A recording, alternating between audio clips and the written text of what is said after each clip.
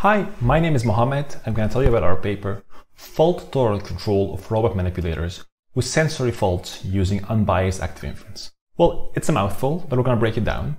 But first, thanks to my authors Corrado, Riccardo, Carlos, and Nick. We're with the Oxford Robotics Institute at the, at the University of Oxford and the TU Delft. An overview of the paper. First, we start with a problem statement. And simply, we want to control our system given that one of the sensors could have a fault in it. For instance, a sensor might freeze. One way to do fault tolerant control is using the so-called active inference controller. And although this controller has some remarkable properties, it has a lot of limitations when we use it for fault tolerant control, which we're going to discuss in detail. Unbiased active inference is our way, our novel contribution to overcome all the, all the mentioned limitations. And we're going to explain it clearly, we're going to show how it relates to different control architectures, and we, how to use for fault tolerant control. Finally, we will have some results and conclusions, and then some suggestions for future work. The problem statement. We have a robotic arm, which has some state, which compromises of the joint positions and velocities. So for this two-dimensional robot arm, the state would have four entries. We have some starting configuration x0. I want to arrive at some goal, x goal. The system is equipped with multiple sensors, including joint encoders and velocity encoders for every joint. And it has a camera that retrieves the Cartesian coordinates of the end effector. So given these three coordinates, one of them would have a fault in it. For instance, one of these sensors will freeze, and we still want to be able to control our system from the starting configuration to the goal, despite the occurrence of that fault. Model-based fault tolerant techniques are often used to solve such problems. These have two distinct steps. The first is fault detection, which typically involves some supervision block to model a so-called residual signal against a threshold. So a threshold is like a boundary Think of it as a safety boundary. And that can be defined either by an expert or data, learned from data. And then a residual is something to monitor, and if that residual exceeds the threshold, then a fault is detected. Once it's detected and isolated, a recovery mechanism is needed, which broadly speaking is some form of controller redesign, either by changing some parameters or switching to a different controller entirely. Now up to the active inference controller. It's a probabilistic model that has two random variables, or multiple random variables including these two. x of t is my current state, which is hidden, so I call it blue. y of t is my current observation, which is orange because it's a known random variable. These are connected by probability distributions given by these black blocks right here. And this is a general architecture. For instance, this could be a Kalman filter, where this prior p of xt is some kind of prediction step. And this is a measurement model. And solving x p of xt given yt, computing the distribution, is estimating our state. So what is the difference in this active inference controller? Well, it's exactly like one of these Bayesian filters, like a Kalman filter, but this prior is biased towards the target. So we predict that we move closer to the target every time step, regardless of what's actually happening in the world. And minimizing that prediction error will make this come true. So we want to compute p of x given y, but that's often expensive. So we approximate it with a variational distribution q of x, which we assume to be Gaussian. So we want to find the Gaussian distribution that's closest to the true distribution, and a difference or the mismatch is given by the so-called KL divergence, which is this term right here. So to minimize this KL divergence, we end up minimizing something called the variation of free energy, which using certain assumptions turns out to be a quadratic formula and some logarithm terms. So to achieve anything in this model, we minimize free energy with respect to the appropriate variables. So to achieve state estimation, we minimize the free energy with respect to the beliefs. So mu of x is our belief over this variable x right here.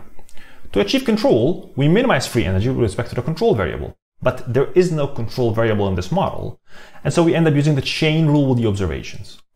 So the properties of active inference controller are interesting because we have one cost function and we use that single cost function to obtain whatever we want, like state estimation and control. And we can even learn some of these covariances, like these sigmas over here. So from a control perspective, the diagram would look as following. We would have a dynamical system, the robot. It outputs some state.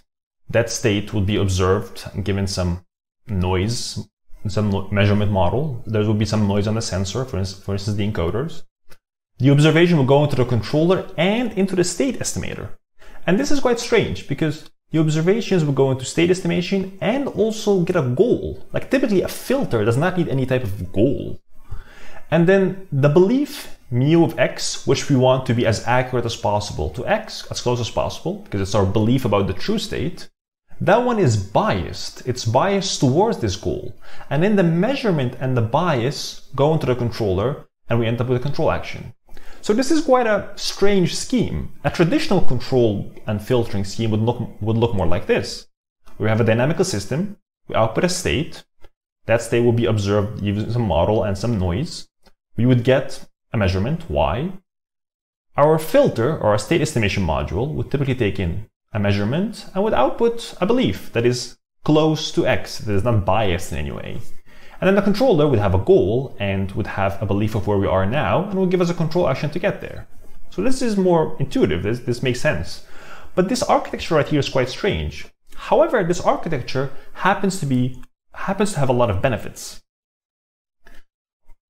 But before we go into the benefits, let's talk about how to do fault detection with it. We have all these error terms right here, which are these quadratic, from this quadratic equation. And some of these error terms are the so-called sensory prediction errors. For, for instance, we'd have one for the joint encoder, the difference between the belief of where the state is and, so mu of x in this case, or mu, because there's only one mu, uh, and yq, which is the measurement from the joint encoder, and the same for the velocity and visual encoders. And then we would use these as residuals against any threshold we have designed beforehand, and if a threshold is exceeded, we go to the appropriate precisions or the inverse covariance and set them to zero.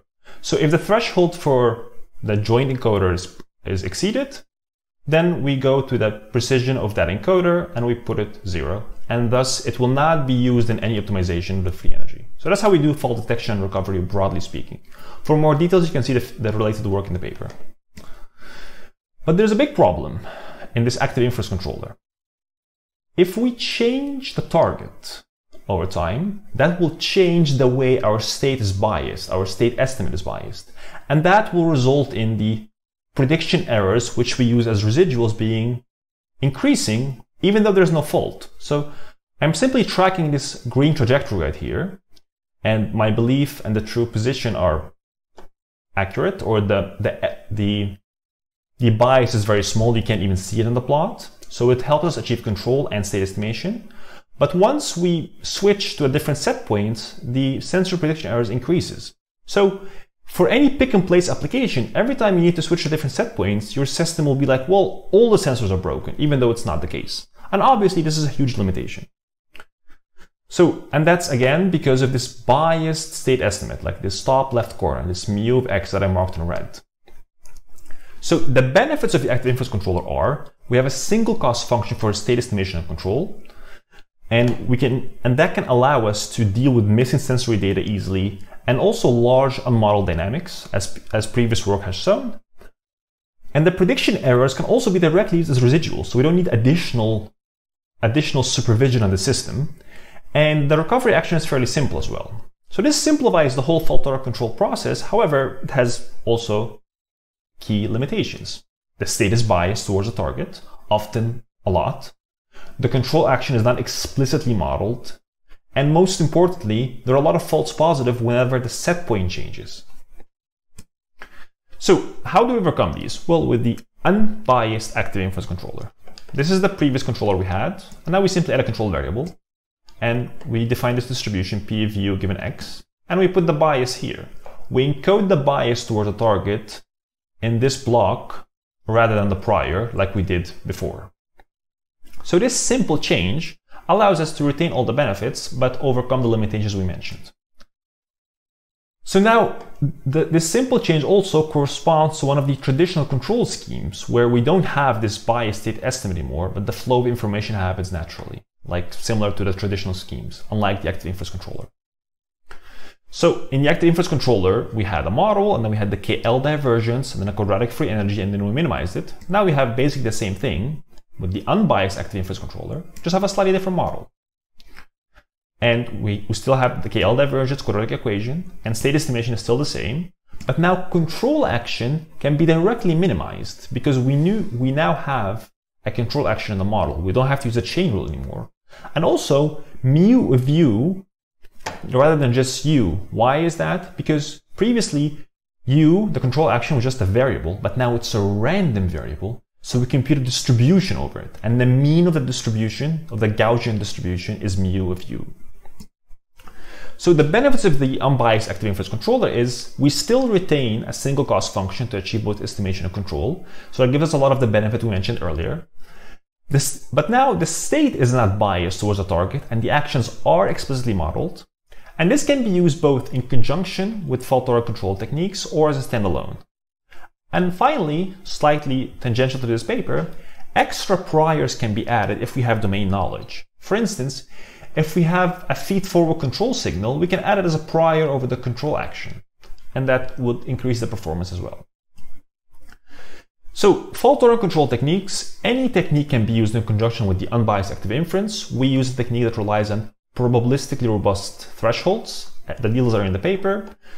Nothing, no novel contributions here. The only, the only thing to be noted is we would need to separate proprioceptive and visual sensory data in separate free energy terms for the threshold, for the residual and threshold detection. The results, fairly simple experiment. We have a robot arm that needs to track some trajectory that moves over time. And if now there's a set point change and a fault occurs, the belief is that we are at the target, but we are usually not when a fault occurs. And with a recovery action, the fault does occur. So we use the unbiased active inference controller with a state-of-the-art fault detection method, and they work together just fine. We also have a table with more results, and here we can see something critical, which is since our encoders are more accurate, when the encoder fault occurs, the error is much bigger than when the camera fault occurs. But with this scheme, we can deal with easily encoder faults with a position or velocity or camera faults in the exact same fashion, unlike previous work, which could only deal with encoder faults and not camera faults. So for future work, there's something interesting to consider, which is we use these error terms as residuals, and then once a fault is detected and isolated, we set its appropriate precision or the inverse covariance to be zero. But what if we learn these precisions? So not zero or one, we don't have this sigma to be zero or some value. It's essentially proportional to how faulty the sensor is. So now we get stochastic fault tolerant control. And what if we don't do this, we don't make this assumption and get a quadratic equation, but we do full Bayesian inference? Well, we get something like this. I have a system here, a fault is injected at the gray line, and then a camera given by these red dots, the camera measurements, are now biased. They have an offset. So the green system is around the true trajectory, which is this dashed black line, but the red line is now has a jump. Well, what we get is if no fault occurs, our belief will be somewhere in the middle, depending on how much we trust each of these sensors. Now, if we just learn these covariances in a Bayesian fashion, the uncertainty overall is higher. However, we can easily deal with, with the fault occurring without any fault detection beforehand, without using any technique. We the only thing we do is just, we just learn these precisions or inverse covariances online in a Bayesian fashion. So to conclude, we propose to solve fault-tolerant control problems as probabilistic inference. We discuss previous work which talked about the active inference controller, and we discuss its limitations for fault-tolerant control in detail. Then to overcome all these limitations, we make a small change which results in the unbiased active inference controller, which can be easily used in conjunction with any existing technique. The results were promising compared to state-of-the-art methods. We could even deal with camera faults no problems. And by learning these covariances, we open an avenue for a different type of fault-tolerant techniques that, that can be both used for, for stochastic fault tolerance or deterministic fault tolerance. Thank you very much for listening to this presentation. My name is Mohamed again, and if you have any email and if you have any questions, email me at mohammed at robots.oxford.ac.uk and see you at the conference.